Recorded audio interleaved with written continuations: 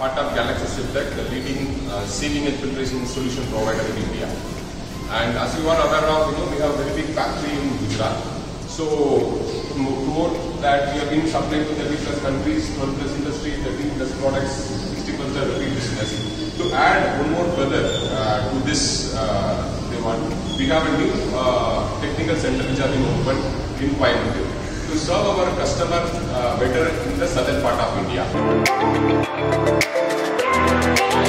So we have been come up with you know the complete uh, consumable spare items which will be helpful for our uh, customers. Whosoever in south they can get this consumables very easily and quickly compared to earlier. More than that, if our customer want to try out a new product and they want to try out a new trial at our end, we have a complete trial and demo machine ready.